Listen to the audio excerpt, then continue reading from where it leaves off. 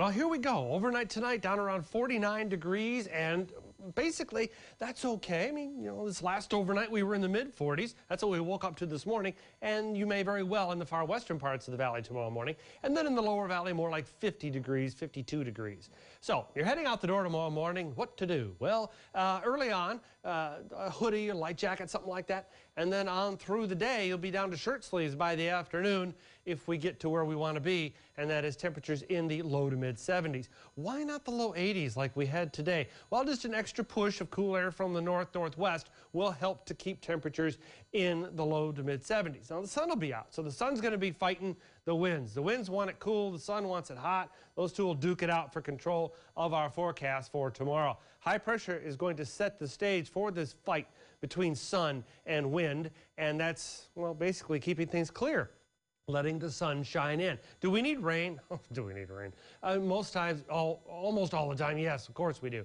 Now, we've only had a smidge at Brownsville and Harlingen and a little bit more than half an inch at McAllen. We should be talking about nearly two inches at McAllen, nearly three inches at Harlingen, and more than three and a half at Brownsville. But we've come up short on all locations for that for that graph for the whole month. So I hope you've had a little bit more rain, but as it stands, most folks have not. You see the U.S. Drought Monitor shows dry conditions on down into the lower valley and mid valley and out in the western part of the valley. So portions of Starr County, Willacy County, even uh, slivers of Hidalgo and all of Cameron for that matter in the dry zone. The drought conditions are all north of Laredo. Saturday and Sunday, if you've got plans to do something outdoors, this is it. This is going to be the best weekend ever, almost ever. 78 to 80 degrees, fantastic, looks good.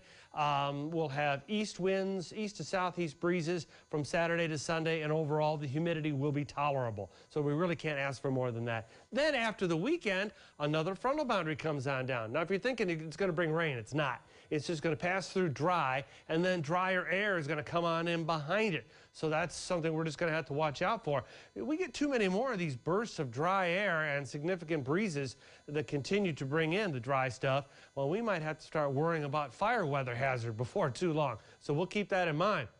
Now, the tropical snapshot has this area of development. Here you have uh, Haiti, and you've got uh, Puerto Rico, and then you've got this development entering the Caribbean. That's going to continue to move west over the next five days and probably threaten Honduras, Nicaragua.